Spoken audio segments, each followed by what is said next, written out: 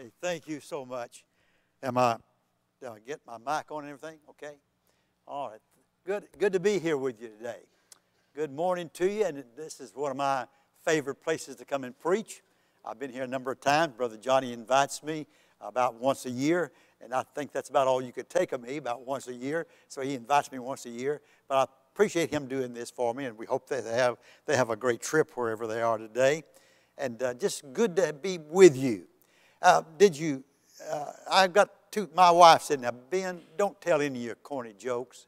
And she's heard all my jokes, and and uh, but I heard this the other day, and I'm sure you know about this. Do you know what it takes to be a Baptist?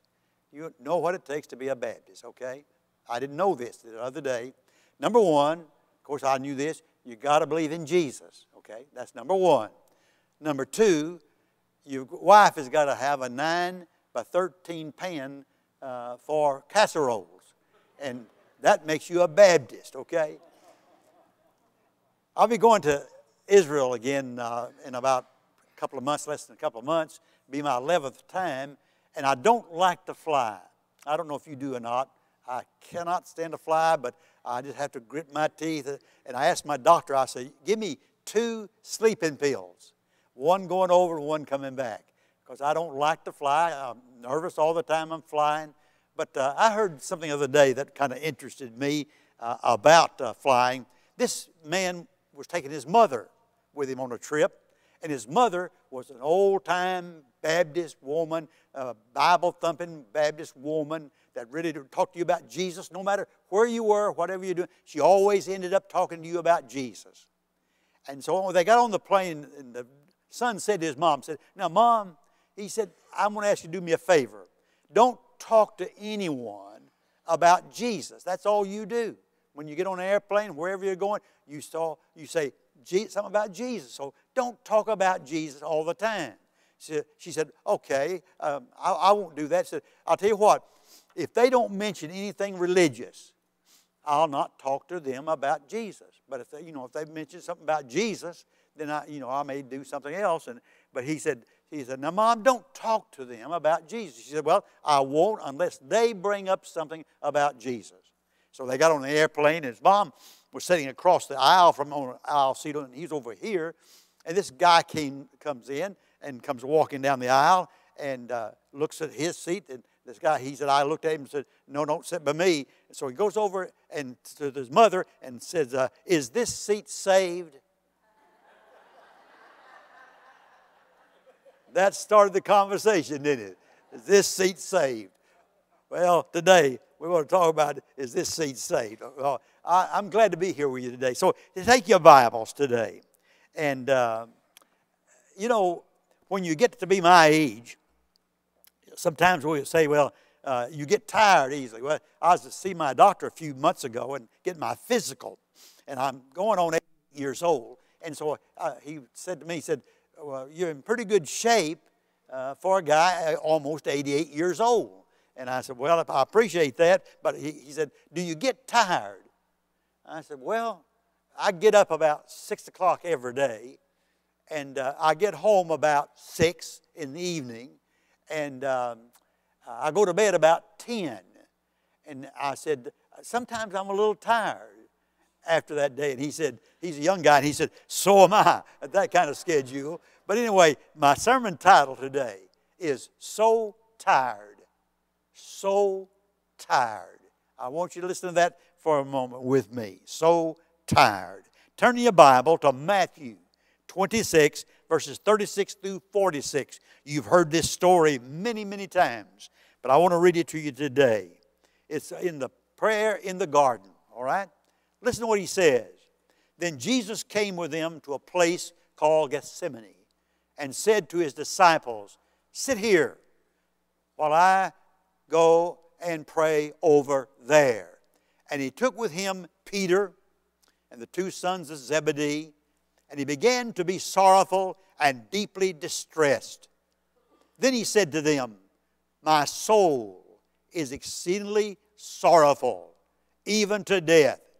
Stay here and watch with me. And he went a little farther and fell on his face and prayed, saying, O my Father, if it possible, let this cup pass from me. Nevertheless, not as I will, but as you will. Then he came to the disciples and found them sleeping, and said to Peter, What? Could you not watch with me one hour? Watch and pray, lest you enter into temptation. The spirit indeed is willing, but the flesh is weak. Again, a second time, he went away and prayed, saying, O my Father, if this cup cannot pass away from me unless I drink it, your will be done. And he came and found them asleep again. And their eyes were heavy. So he left them and went away again and prayed the third time, saying the same words. Then he came to his disciples and said to them, Are you still sleeping and resting? Behold, the hour is at hand, and the Son of Man is being betrayed into the hands of sinners. Rise, let us be going. See, my betrayer is at hand. Never had the sun risen on such a day as I just read to you. No other time. That ball of fire that's up in the air we call the sun. We call it a ball of gases. Had if it had a mind of its own, I doubt if it had even shone that day into the city of Jerusalem. It would have stayed hidden somewhere in outer space and would not have shone at all. Far as I'm concerned, as we look at this, we begin to understand what was happening here on this day. For this day of days, and I call it the day of days, the Prince of Glory was to be crucified. On this day, the bright and morning star was going to be crucified.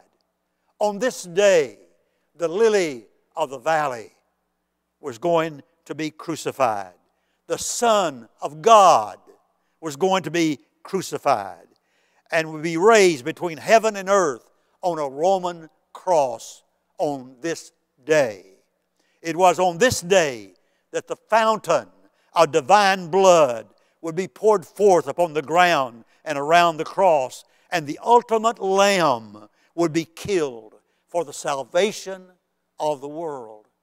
That was this day that we're talking about in the Garden of Gethsemane. But on these hours before the light of day, the Lamb Himself, Jesus Christ, led 11 men through the Kedron Valley. And if you go to Israel, and if you've seen pictures, you see it often of the great golden dome. That's a Muslim dome. But in front of that is, of course, the Western Wall, the Great Wall. And then down, you go down the hill, and it is the Kedron Valley. And you go up the other side, and you're in the Garden of Gethsemane. Not very far, but farther than it looks because of the great ravine into the uh, Kedron Valley. And I thought maybe one, as I thought about that, what Jesus, as he walked across the Kedron Valley, maybe entered into his mind Psalm 23 4. Yea, though I walk through the valley of the shadow of death, I will fear no evil. Behind our Lord's shoulders as he walks was the great wall there, hiding the hill Uh, that would be he would be crucified on a few hours later. It's called Calvary or Golgotha. Now let me explain something to you, and I don't know you've heard it before. There's a difference in Calvary and Golgotha in the scriptures because Calvary is inside the walls of Jerusalem. And the Bible tells us, and history tells us, and Josephus, the historian, tells us that they never baptized, excuse me, they never crucified inside the walls. Allenby, General Allenby, the English general, found outside that wall the place of the skull. You've seen that in a rock. It looks like a skull. That's called Golgotha. And I believe that's where Jesus was crucified, outside those walls at Golgotha. And the hills of Calvary and the hills of Golgotha, you can call it either one. It's not wrong to do that. But listen, Golgotha is where they would hang him upon the tree and he would die there. Now he steps forward with his leaders, takes his leaders with him into the grove of olive trees known as Gethsemane. The garden was about at the foot of the Mount of Olives. The Mount of Olives, down the hill to the uh, Mount of Olives, down to Gethsemane. The actually name in the Hebrew for the Gethsemane is meaning of a press, an oil press. And of course, the oil would be made from the olive trees. A few hours before this, Jesus had broken bread with his disciples in the upper room. He told them of his coming crucifixion or his coming death. They were shocked. They didn't want to hear that. They wanted him to live on, and they wanted him to overtake and overcome the Roman government, to set up a kingdom upon this earth. But that's not what he came for. His kingdom is in heaven, not upon this earth. But they want him here on this earth. And those 12 men will come along with him, and Judas had vanished in the night, was not with him at this time. And immediately he was the betrayer. The trauma was just beginning now. Their hearts had been humbled. Jesus had put a towel around his waist. I want you to try to imagine this, if you would. The King of Kings, the glory uh, of God, the power of God, the holiness of God, all that in Jesus Christ. He was God man. And he comes down and he wraps a towel around his waist and he washes the feet of the disciples. Now, you may say, well, Brother Ben doesn't need to be a Baptist, but I don't think it's wrong to wash feet in the church. I really don't. I really do not believe that because it shows humbleness, it shows servanthood. And we need that today. A lot of us don't want to ever be a servant. But Jesus became the God of God, the lily of the valley, became a servant and washed the feet of people. Can you imagine in all of his power and all of his glory? Here is God man washing the feet of fishermen, washing the feet of everyday individuals. He was a servant. And one of the greatest things you'll ever do, church members, is to be a servant of God. Just be a servant. You don't have to be anything else. People ask me sometimes, Brother Ben, do you ever feel like you were a CP, uh, that you were a, um, uh, kind of a uh, guy that's ahead of everything? And did you ever think that you were very important? Did you ever feel that way at all? No, I've never felt that way in my whole lifetime. There's a lot of things wrong with me, but I've never felt like that. I've always, in my whole life, felt like I'm just a servant of God. I'm not a CEO. I'm not a CEO. Some preachers want to be CEOs. I'm not a CEO. I'm a pastor and I'm a servant of God. And the greatest thing you can be is a servant of God. Just say, I want to serve God. Jesus washed the feet of these people with, with, with, he was with. And my, what a servant he must have been. The master, the Son of God, becoming no more than a servant. I come to the garden alone, where the dew is still on the roses. And the voice I hear falling on my ear, the Son of God declares, I'd stay in the garden with him, though the night around me be falling. But he bids me go through the voice of woe. His voice to me is calling. And he walks with me. And he talks with me. And he tells me I am his own. And the joy we share as we tarry there, none other has ever known. My folks, every day I share with Him in my prayer time. So precious. He walks with me and He talks with me, even though I'm just an everyday individual. He does that with you. You are a servant of God. Be a servant. Don't try to be anything but what God wants you to be. Now, just for a few moments, I want us to spotlight these three men that were with him Peter, James, and John. They were very special men. These three men were very close to the Savior. I don't understand that, but it's like all of us. We have closer friends than others. Now, we say, I don't have favoritism. That's good for pastors not to have favoritism. But listen, all of us have close friends. And they were with Jesus Peter, James, and John in the Garden of Gethsemane. And Jesus stopped the three beneath the ancient olive trees. Now, I know you know this probably, but you heard preachers preach and teachers teach. Olive trees never really die. Did you know that? They, uh, there's trees in the Garden of Gethsemane that's over 2,000 years old. If you notice, they, they look like they're dead, but all of a sudden, they sprout new uh, things uh, coming out of them. And so they just keep coming over and over again. And they say they, they rebirth, they come back again. Well, he, here he was with them, and he sits them beneath the olive tree for a moment. He says, Stay right here for just a few moments. And over in the corner of the Garden of Gethsemane, outside, they have most of it walled off now with a little fence so you can't take parts of the olive trees. And so is a big, huge rock. And I thought to myself, maybe, now listen to what I said, maybe, maybe that's where Jesus went to pray. Went over there and knelt down by that uh, big, uh, big rock. But the, he said to the disciples, You stay right here, watch and pray with me. Then our Lord went a few steps farther into the garden where he began to pray in anguish of spirit. Now I want you to listen to that word anguish of spirit. Christ said that his soul was exceedingly sorrowful unto death. Sorrowful unto death. This sorrow was almost death. That's what it meant. He almost died in the Garden of Gethsemane on his knees. You say, I never heard that before. Listen, that's what the Bible says. The anguish there, the exceeding sorrowful unto death, meant almost died praying there in the garden. It would be more, mere hours now before his body would be nailed to the Roman cross. Just a few hours now. And the sins of the whole world would cover him like a raw, open sore of death plague. Just like a raw sore pressing down upon him. Every sin Ben Rowell has ever committed, every bad word I've ever said in my lifetime, every bad thought that I've ever had in my lifetime, every sin that I committed in my life, the sins of omission even that I committed. Listen, all those sins were poured out upon Him. All of your sins were poured out on Jesus that day. Think about that a moment. Could you take that load of all the sins of all the world, of all the people that ever lived, and put them up on your shoulders? You say, I couldn't do that. None of us could, but the Son of God could.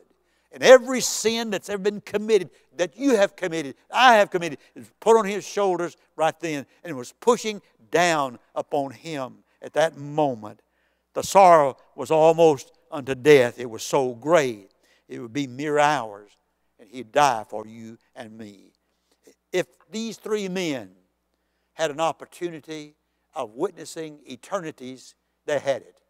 Now, listen to me. No other three men ever had such an opportunity to witness the anguish of the heart of God. They missed that because they were too tired. They went to sleep.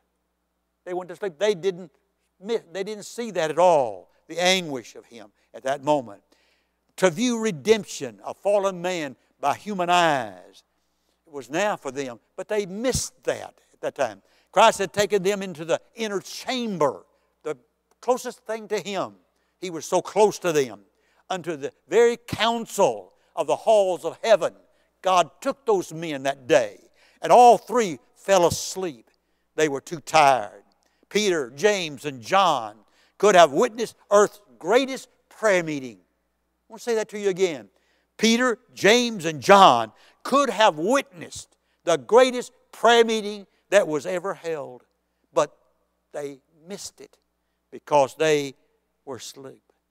Better yet, they could have participated in the greatest prayer meeting that was ever held. And they missed that. Isn't that a shame? You say, oh, I would have done that. Well, we probably would have because we'd have been tired too. But they missed it all. Bidden to stop uh, at that moment uh, under a tree for a few moments, they said, I will just wait right here. But they could not stand it. They were too tired, so they went to sleep. There's not a pastor in the world today that I've ever met that hadn't had some of his church members too tired to pray. Just too tired to come and pray. People ask me all the time, said, all the years you pastored, 68 years now, uh, what, why do you think we don't have revivals like we used to have revivals? Well, one thing, we don't even call them that anymore. You know, we're afraid to. We say people won't come to a revival. Well, one of the reasons they don't come because we haven't prayed for revival. We're not on our faces before God asking God to help us. Because you see, people, there is uh, all around us people today that are headed for hell, and we're not praying for them. We're not praying for them anymore. I, it's been a long time since I've met somebody at the altar, and they'll say to me, I want to pray for my husband that's lost, or my wife that is lost, my son that's lost, my, my cousin that's lost, my neighbor that's lost. I want to pray for them because they're lost and on the way to hell, and, and I can't stand for them to go there. I want them to go to heaven with me. And so it's been a long time since I've had somebody say, pray for me, preacher, like that. We pray about everything else, but we're not praying for the lost, my friends, at all. Great revivals will not come because we build great churches. Buildings, I'm talking about now. We could even have revivals without a church building. Did you know that? But it's good to have good buildings. We have great buildings. I'm proud of the buildings we have. This is a great facility you have. Great facility where I pastor, uh, associate pastor, great church uh, buildings where I pastored for years and years. But listen, buildings won't do that at all. A charismatic evangelist won't do it. You can bring in the greatest evangelist in the whole world, and he won't bring revival in, into us at all. We could reach the world without buildings. We could reach the world without evangelists. Yet revival will not come because will not come because we're not called on our knees to pray to God, to ask God for revival to come our way. Now, revival won't come because some uh, Jehu, and I'm going to call him that. I don't care, I may offend you, that got on television and national news and said, I want to buy a new jet airplane, and I got two already, but they won't fly me around the world. I want a, I want a jet airplane that I don't have to refuel, and, and uh, so I can go around the world. Folks, that's as dumb as a fist fight in an outhouse. Listen, listen, folks, listen. Those people are dumb. Their elevator don't go to the top. And you say, well, there's people, there's lights on, but nobody's home. I really believe that about some of these guys. But listen, revival won't come because we have that kind of individuals. Revival will come. Victorious revival will come when we fall on our faces before God and we're not too tired to spend time praying to God. I may have told you this before, I've been here a number of times, but in my very first church, I was 19 years old. I was so dumb. Listen, uh, I look back now, those people must be saints of God because they put up with me. My wife was 16. Can you imagine your, your pastor being 19 and his wife 16? Well, that's how we started in my, my, very, my very first church. And we had a revival. Brother Cisco was the guy that preached our revival. I can remember that. So we had this great revival. But the first five nights of the revival, nothing happened. I mean, nothing. Just uh, in my little congregation, we ran about, at that time, we were running about 75 people, and we'd have about 60 people there. But on a Thursday night, it was Thursday night or Friday night, on Thursday or Friday night, uh, for some, for some reason, I'll tell you why in a moment, there, the house was full and we didn't have air conditioning then. We had the windows raised, and there were more people outside the church than inside. They couldn't get in. I've, I've asked the Lord many times through the last few years, oh Lord, let me have a day when we ter- have to turn people away. To say, we don't have any room in here anymore. You can't come in. Wouldn't that be a great day? But listen, we, we uh, had this huge crowd. Well, let me back up and tell you why. Every night, before the revival started, the men would go out in a cotton field, out in the middle of a cotton field. We'd get on our knees. Mosquitoes about to carry us away. We'd get on our knees and we'd pray. We'd sweat. We'd get up the mud on the knees of our pants as we'd get up. We stayed out there and prayed so long. The women prayed in a room in the corner of the little church. The teenagers were in another little corner, and the boys and girls were in another little corner. We prayed, and we prayed so hard and we asked God to send revival. And that night, that many people came to, uh, to that congregation, outside and inside, more than we could take. And people were saved, gloriously saved. And the leading gambler on the Mississippi River and the, in the Bootheel of Missouri was saved that night. Johnny Thompson was his name. He was gloriously saved. He comes running through the doors, running down the aisle. I thought he was coming to kill me, folks. I really did. He was coming running down the aisle. He fell on his face the front, and his little granddaughter had just been saved. And Johnny Thompson looked up to heaven and said, God, if you can save my little granddaughter, can you save me? And he was saved right there. God sent revival. And let me tell you what happened. This I think I've told you before. In our church, we had three lights down this side, three lights down this side, and one over the pulpit. Just a, a bulb that you screwed in like this, and it stuck up like that. Just Three down this side, three down that side, and one over the pulpit. I had 20 20 vision then. I had a hard time at night reading the scripture. It was so duh, dim in our church, kind of dark looking in the church. But all of a sudden, when Johnny Thompson raised his hands to God and was saved, the room illuminated. Now, listen to me. I'm not Pentecostal now, but I'm almost Pentecostal, okay? The room illuminated, got bright. Said, How long, preacher? Maybe five seconds. 1001, 1002, 1003, 1004, 1005. Maybe that, about that long. I didn't say a word to anyone. Were on the invitation. Many people were saved that night. Glorious revival. The next day, I met one of my deacons, Brother Abbott, at the store in town. And I said, uh, Brother Abbott, did you see anything different last night in the service? He said, Yes, I did. And I said, What was it? He said, You tell me first. And I said, Did the room illuminate? And he said, Yes, Brother Ben, it did. He said, I'd never seen anything like that in my whole lifetime. What happened, folks? The power of God came down. Listen, in prayer, it'll happen. The world is in sin today. And Jesus said, I'll take all your sins. Uh, crushed in upon him. They pushed on him, and he was gloriously uh, on the cross for you and for me. The bitter cup of sin was put to his lips to save us and to bring salvation into our lives. There's a great, great old time preacher, I got lots of his books, called G. Campbell Morgan.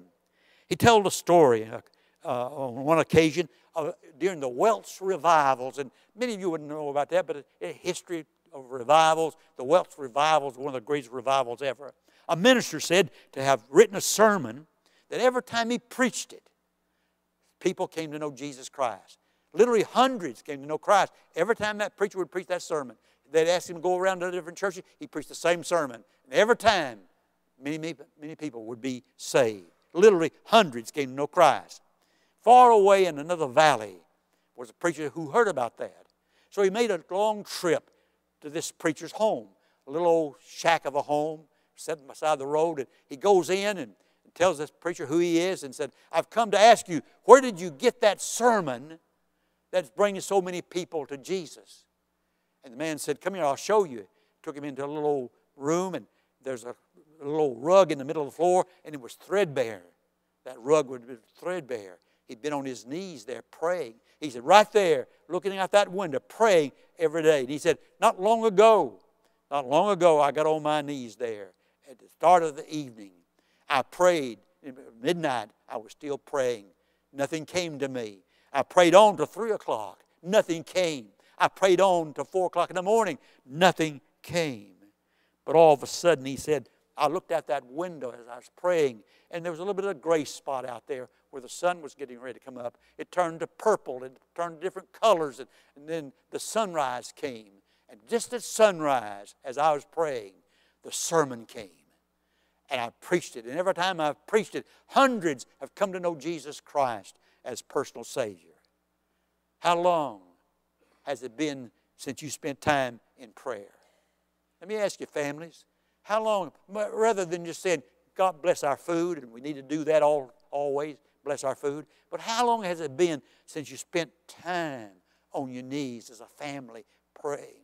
Husbands, how long has it been since you got on your face before God, prayed for your wife and your kids and your grandkids and your loved ones and your church? How long has it been, men, since you've done that? Ladies, how long has it been since you put the dish rags down or, and put, put the uh, towels down and put the rugs down or, and put away the vacuum cleaner and got on your knees and said, Oh God, I come to you today, not for myself, I'm coming to you for somebody else that does not know Jesus Christ as their personal Savior. We're playing church, church, not a praying church. We're playing church. We need to be a praying church. Thank God there are prayer warriors out there. I remember Rogers First Baptist, I was there 26 years. And every time I got sick or every time I had a need, I'd call these two sisters. Now, some of you may have known them. They were called the Shipman sisters. And they'd never been married. Two sisters, never been married. And uh, they wore, ladies, they wore, now we wear, wear long dresses. My wife does. And notice these ladies up here, some of them had long dresses on today. And they wore long dresses. Their hair, hair was in a bun. They looked like what we kind of classify, and I'm not being mean about this, like the Pentecostal ladies look. But I'd call them and I'd say, Ladies, I need your prayers. And I'd tell them why. And immediately when I'd hang up, I knew that they were on their knees praying for me or whatever need we had. Prayer warriors. How about being a prayer warrior for Jesus? Get on your knees before Him. Now, we're out in the garden again, and that happened three times to those men. Three times they had an opportunity. You see, there's no shortcut to the power of God, just prayer. And Calvary could have never been without Gethsemane. The victory was won in Gethsemane on his knees. Bow your heads, please, with me for a moment. Every head is bowed.